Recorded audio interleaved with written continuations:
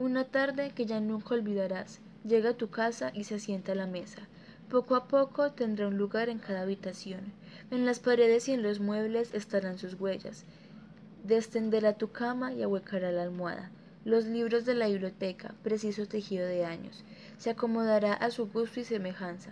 Cambiará de lugar las fotos. Otros ojos mirarán tus costumbres tu ir y venir entre paredes y abrazos, y serán distintos los ruidos cotidianos y los olores.